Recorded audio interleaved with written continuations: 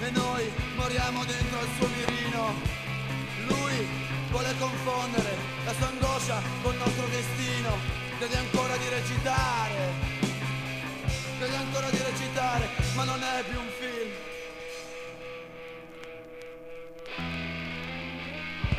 Ti avessi giustiziato, peccato